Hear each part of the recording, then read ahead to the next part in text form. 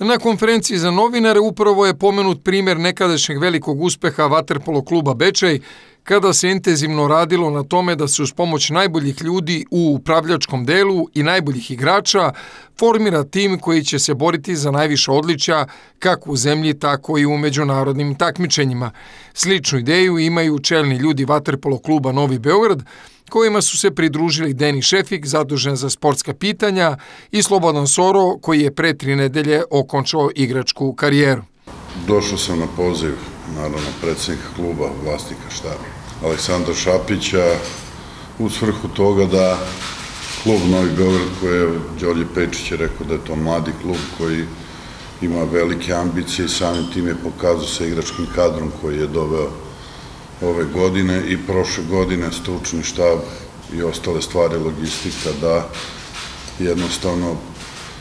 trebamo da namećemo jedan nivo koji se nadamo da će svi ostali klubovi pratiti i mislim da će to sigurno biti dobro čak i za, siguran sam za vaterpolo reprezentaciju Srbije. Mislim da je klub pokazao veliku ozbiljnost što se tiče, imamo ozbiljnog trenera, jako, jako ozbiljnog, mislim da igrački kadar je isto jako ozbiljan, možda i najozbiljniji od svega, najjači sastav i mi smo tu ostatak da pokažemo, da pokušamo da napravimo, da nadomestimo ili da dignemo na neke visine koje do sada to nije bilo. Svakako najveće pojačanje je reprezentativac Dušan Mandić, od koga se sa pravom najviše i očekuje, jer je među najboljima na svetu. Mnogo mi je drago prije svega što se vraćamo u Beograd i e,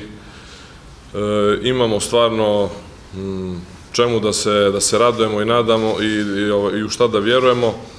Ovo je e, ova Novi Beograd i samim tim ovo što je što radi ove godine i već prošle sezone šta su radili. E, mislim da je to veoma veoma dobro za uopšte srpski sport,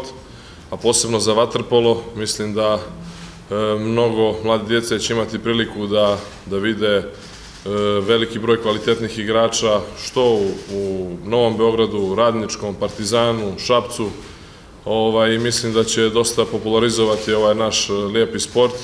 i zbog toga sam zaista srećan. Na čelu trenerskog dela ekipe Novog Beograda je Vladimir Vujasinović, o čije kompetentnosti ne treba trošiti reči, pa se sa pravom mogu očekivati izuzetni rezultati, a najavljuju se i nova pojačanja koja će biti saopštena u septembru.